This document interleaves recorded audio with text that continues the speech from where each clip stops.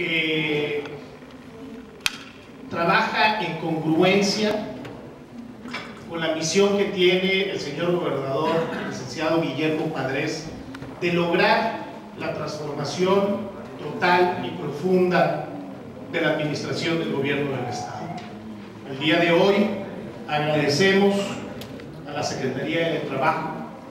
agradecemos a la Dirección General del Autotransporte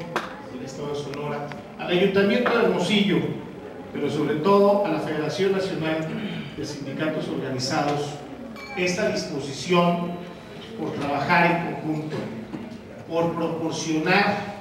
estas herramientas para que contribuyamos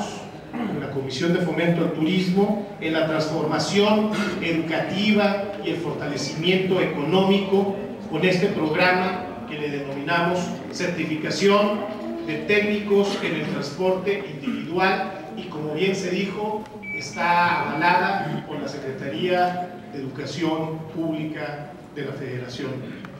Un programa que pone al Estado de Sonora a la vanguardia en materia de calidad y servicio al turismo para alcanzar esos estándares internacionales que estamos buscando, ya que este certificado de competencias laborales tiene el reconocimiento curricular de la Secretaría de Educación Pública y le otorga al taxista el grado de técnico en el transporte individual